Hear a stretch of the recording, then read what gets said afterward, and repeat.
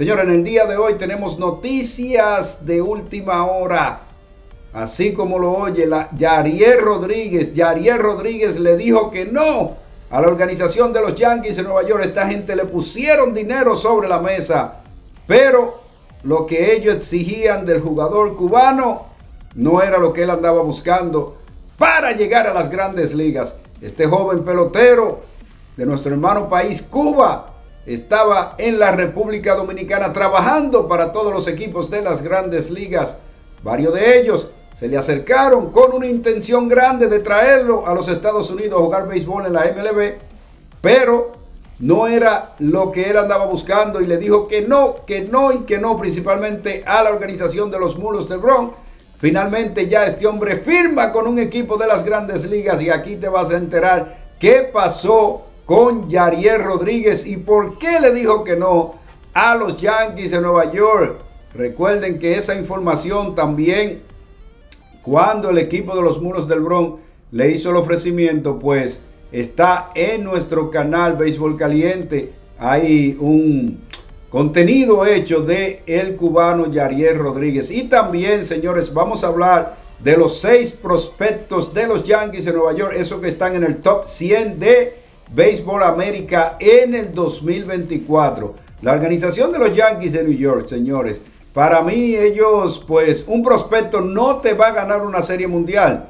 Eh, deberían de tomar decisiones, ¿verdad? Eh, se alaba la calidad que tienen ellos, pero al final, especialmente cuando son latinos que están llegando a hacer sus sueños realidad en las grandes ligas, pues lo tronchan, lo tronchan hasta que quizá los muchachos se frustran. Mira el caso de Oso Alperaza, está por ahí. Gleyber Torres, que no es un prospecto, y lleva muchos años con el equipo. Lo contratan para el 2024, pero quieren salir de él. ¿eh? Osual Peraza lo tienen, están escuchando ofertas también por él. Varios venezolanos con un talento enorme. ¿eh? Déjalo jugar béisbol, a ver qué te hace, dale la oportunidad. Si no está de acuerdo, si no hizo el trabajo, pues sal de él. ¿eh? Yo no estoy eh, para nada contento en la forma que están eh, tratando a Gleyber Torres. Muchos dicen, ah, que no batea, que esto, que aquello. Busquen los números del año 2023. ¿eh? Busquen quién fue el único pelotero que jugó prácticamente la temporada completa. Pero siempre hay alguien que quiere decir cosas negativas, principalmente de los nuestros. Y lo que duele y pica y molesta es que son latinos como tú, latinos como yo. ¿eh? Así que vamos a hablar de estos muchachos y a darle la información del cubano Yariel Rodríguez, le dijo que no a la organización de los Yankees de Nueva York. Jason Domínguez encabeza la lista de las mejores promesas de los bombarderos de Bronx de cara a esta temporada 2024. Este es un super pelotero. ¿eh? Los Yankees de New York son reconocidos como un equipo lleno de promesas súper interesantes. Esas que han cuidado desde las oficinas en los cambios recientes. Por eso le dije, ¿verdad? Por ello, no sorprende que la organización tenga seis prospectos dentro del top 10 de reclutas de las grandes ligas de cara a la temporada que ya casi está comenzando este 2024 según Baseball América. Jason Domínguez, número 16 en el ranking general. Spencer Jones, número 46. Everson Pereira, mírenlo aquí, también eh, no sé, quieren salir de él también, ¿eh? Número 67. Roderick Arias, número 68. Austin Well, número 71. Chase Hampton, número 72. Son los mejores prospectos de los Yankees de New York, según la revista especializada, y varios de ellos verán acción en las grandes ligas en esta próxima temporada. Domínguez entró al quirófano para reparar un desgarro parcial en el ligamento colateral cubital en el codo derecho, señores. Lesión que sufrió el pasado 10 de septiembre y puso fin a su espectacular debut en las grandes ligas. El guardabosque se despidió del 2023 con una línea ofensiva de 258, 303, 677 pegó un doble, pegó cuatro jorrones, empujó siete carreras y se robó una base. También pues exhibió 980 de OPS. Domínguez le metió bien duro, señores. ¿eh? Para mí es un honor jugar al lado de Aaron Judge y Juan Soto. Dice él, ¿verdad? Los veía en la televisión cuando estaba empezando en las ligas menores y poder estar ahí y saber que tengo la oportunidad de jugar con ellos es algo definitivamente maravilloso, dijo Domínguez durante su recuperación al portal de las mayores. Jones, por su parte, es considerado el mejor recluta de la franquicia según ranking de Baseball Prospectus. En la temporada 2023 terminó con una línea ofensiva de 267, 336, 444. Pegó 29 dobles, 4 triples, 16 honrones. Este hombre también remolcó 66 carreras se robó 43 bases entre clase A, clase A fuerte y doble A con apenas 22 años de edad. Este muchacho es un fenómeno.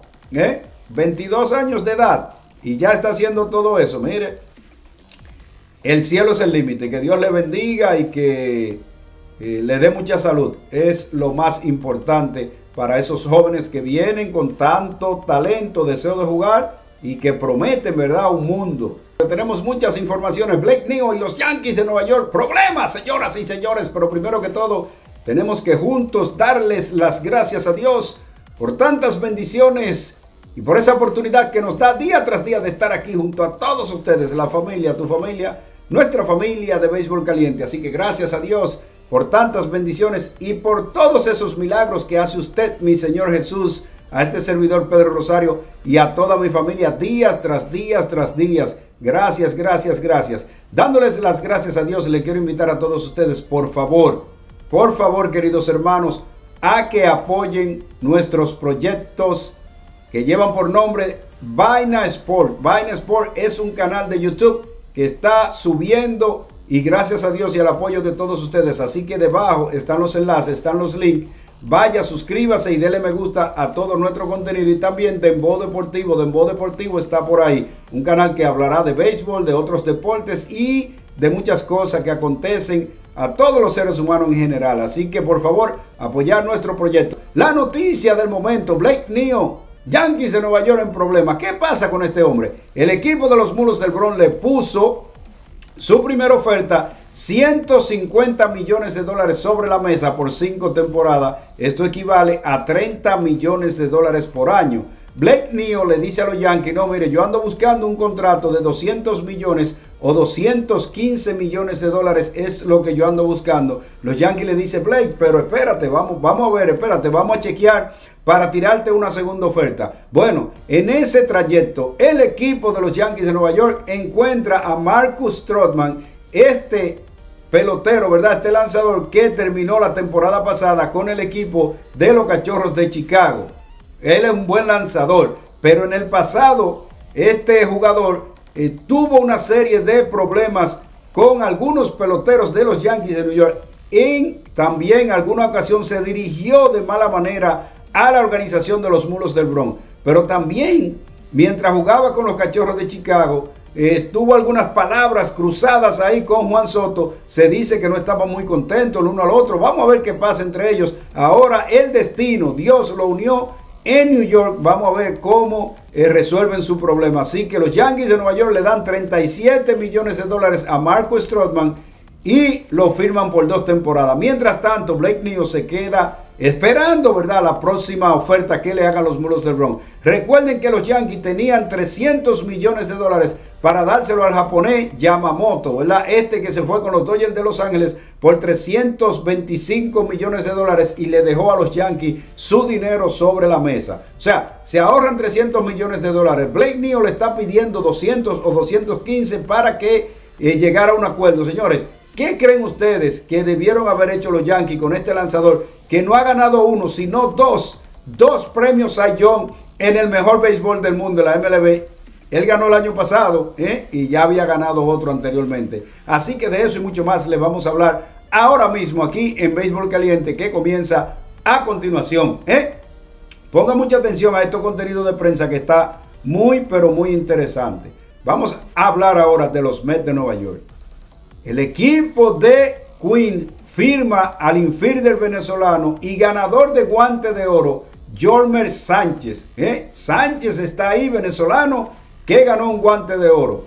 Quien consiguiera el premio como mejor segunda base defensivo, esto fue por allá en el 2019 en la Liga Americana, tendrá la oportunidad de actuar en las grandes ligas con el equipo de los Mets de Nueva York. Y esta gente sigue en activo en esta temporada muerta de la MLB, tanto que han sumado dos nuevas firmas. La del antiguo ganador del guante de oro, Jomer Sánchez, y el receptor Austin Allen. Efectivamente, las mayores.com reveló que tanto el contrato del infielder venezolano como el del catcher es de ligas menores, pero con invitaciones a los campos de entrenamiento. Ahí están los Mets sumando, ¿verdad?, peloteros a su plantilla. Sánchez totalizó ocho temporadas en las grandes ligas, esto es, en la mejor competición del mundo, señores, aunque viene de un 2023 donde no pudo pasar de la filial AAA de los Bravos de Atlanta,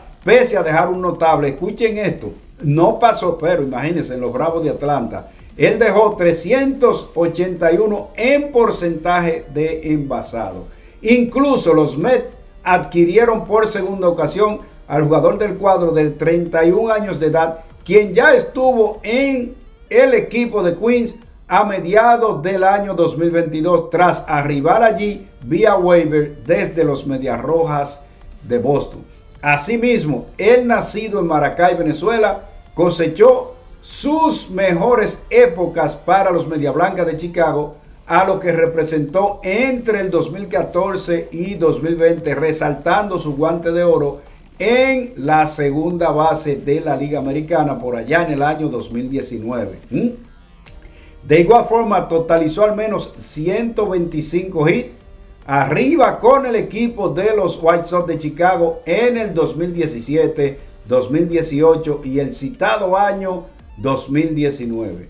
Ahora el nuevo manager de los Mets de New York, Carlos Mendoza, tratará de que su paisano Jolmer Sánchez se haga con el puesto principal de utility del cuadro en el 2024, donde el equipo de Queens, los Mets de Nueva York, deben cuando menos pelear por entrar a la postemporada, eso que no pudieron hacer en el 2023, a pesar de tener dos de los mejores lanzadores en la historia de las grandes ligas, ¿verdad? Tenían a, a por ahí y también a Justin Verlander y ni así llegaron a nada. Ahora vamos con la noticia principal, la principal de este contenido de prensa. Lo que hizo el cubano Yariel Rodríguez a la organización de los Yankees de Nueva York, le dejó sobre la mesa ese contrato que le estaban ofreciendo, pero ellos querían forzarlo a que él hiciera lo que ellos pues buscaban. Y Yariel Rodríguez dijo, no, no y no, yo voy a hacer lo que yo creo que puedo. ¿eh? Así que no es diferente el nivel de béisbol que yo sé jugar al que juegan en las grandes ligas y yo sé que tengo el talento para hacerlo, ¿eh? como lo que soy, un lanzador abridor. Pues la rotación de los azulejos de Toronto, con la incorporación de Yariel Rodríguez a sí mismo. El derecho cubano se decidió por los azulejos de Toronto para unirse a la rotación canadiense para la próxima temporada de la MLB y le dijo que no a los Yankees de New York.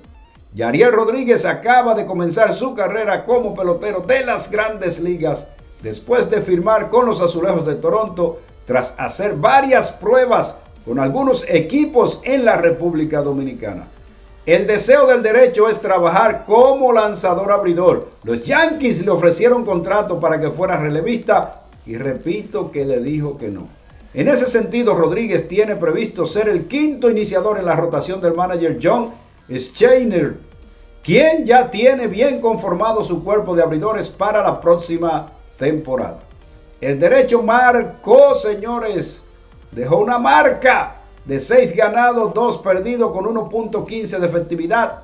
Ponchó a 60 bateadores, dio 18 bases por bola en 54.2 innings de trabajo en Japón con los Dragones de Chunichi.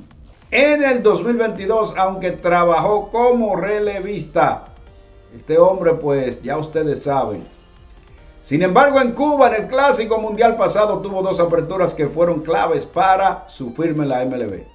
En el torneo de naciones permitió dos carreras con 10 ponches en 7 puntos inning de trabajo. Los azulejos de Toronto tienen a Kevin Gushman, José Berríos, Chris Bassett y Yusei Kikuchi como sus nombres, ¿eh?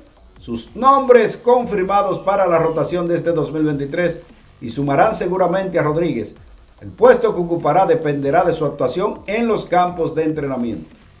Este lanzador cubano posee una buena recta que intentaría pues mezclar con picheos rompientes, ¿eh? La va a intercambiar en las grandes ligas. Es un lanzador que puede mantener de cerca siempre sus lanzamientos en la zona de try y que depende en una buena parte de la defensa que le puede brindar sus compañeros para salir de situaciones apremiantes durante los encuentros. O sea que él eh, aparentemente le batea mucho por el suelo. ¿eh? Ese llamado sinker, señores, poderoso, que hace a los bateadores tirar, siempre batear por el suelo. Es difícil que cuando esos lanzadores que tiran ese sinker y más si le meten velocidad, le puedan batear por el aire. Así que Ahí está Yariel Rodríguez. Eh, se le negó a varias organizaciones. Querían ponerlo de relevista. Especialmente la primera eh, fue la de los Yankees de Nueva York. Que se abalanzó sobre él, pero en todo momento lo querían para que fuera relevo. Y él le dijo que no. Él quería ser el abridor. Los Yankees no quisieron y ahí está firmando con los Azulejos de Toronto. Si te gusta lo que acabas de escuchar de Yariel Rodríguez y su firma con Toronto, Dale me gusta a este y todo nuestro contenido. Déjanos tu comentario debajo de este video. Oprime la campanita de notificación. Suscríbete a Béisbol Caliente si no lo has hecho por menos de un dólar al mes. Y recuerda que siempre aquí debajo de todo nuestro contenido está el enlace de Vaina Sport. Sport está por ahí también. de Dembo Deportivo, Dembo Deportivo. Enlace. Están los links ahí. Y recuerda, yo soy Pedro Rosario. Esto es Béisbol Caliente. Y yo le digo lo siguiente. Que Dios le bendiga a todos. Gracias, gracias, gracias. Ahora nos mudamos desde Queen, nos vamos para el Bronx. Los Yankees de New York podrían desestimar la firma de Blake Neo tras el acuerdo con Marco Strootman. Le hablaba de eso en la introducción y mire lo que dice este contenido de prensa. Y es que Nueva York analiza si hacerle una segunda oferta al ganador del premio Sayón de la Liga Nacional, esto en el 2023, sobre todo tras sumar a Strootman a su rotación. Escuchen esto, señores. Pues es que la firma de Strootman con los Yankees de New York podría tener un efecto colateral para el ganador del premio Sayón de la Liga Nacional el año pasado, Blake Snell, quien rechazó la primera oferta de la directiva de los bombarderos del Bronx, pese a sus deseos de colocarse el uniforme de raya para la temporada 2024. ¿eh? O sea, él tiene deseo de firmar con los Yankees, pero él también está exigiendo lo que él cree que es justo, ¿verdad? Eh, él está mirando que a otros peloteros le están pagando una, eh, una cantidad de dinero, de millones de dólares astronómica, ¿verdad? Y él, esto es astronómico es la palabra, ¿eh? Y él que viene de ganar dos premios a John, pues están ahí como le doy, no le doy, que están como pensando ahí los Yankees. Pues John Heyman reveló el día de hoy que aunque la firma de Sneo con los Yankees de New York no está descartada. Es poco probable que ambas partes lleguen a un acuerdo. ¿eh? Sobre todo tras el pacto de New York con Strootman, como le dije ahorita, por dos años y 37 millones de dólares. No estoy diciendo que los Yankees de New York no van a firmar a Sneo, porque en la agencia libre todo puede pasar. Pero es poco probable que haya un acuerdo con lo que pasó con Stroman. En estos momentos no van a ocurrir, pero el mercado es impredecible, dijo Heyman en sus redes sociales. ¿eh? Ahí está lo que dijo este tremendo periodista. Andy Martino de SNY reveló que el ex lanzador de los padres de San Diego ha expresado en privado su interés en llegar al equipo de los Yankees de Nueva York en el 2024 y eso es así. Vayan a Béisbol Caliente que ya eso lo hicimos. Ese trabajo está aquí en videíto, bien hecho. Vayan para que lo vean. Todo lo que se dijo, ¿verdad? De el deseo de Blake Neo de llegar a la organización de los Yankees de Nueva York en el 2024, lo que haría del staff de abridores del equipo uno de los mejores en las grandes ligas. Sin embargo, la primera propuesta, como le dije anteriormente, del equipo de los Yankees de Nueva York fue nada más y nada menos que de 150 millones de dólares por cinco años y esta fue descartada por el también es eh, que jugaba con los David Wright de Tampa Bay, es lanzador de los David Wright de Tampa Bay. El zurdo dejó marca de 14 ganados, 9 perdidos con 2.25 de efectividad, líder en la Liga Nacional. Este hombre ponchó 234, dio 99 base por bola. Esta fue la, mejor la menor cantidad del viejo circuito. O sea, en base por bola, él fue el que dominó la menor cantidad. Y este hombre también, pues 1.18 de whip. Esto es en 180 innings de trabajo.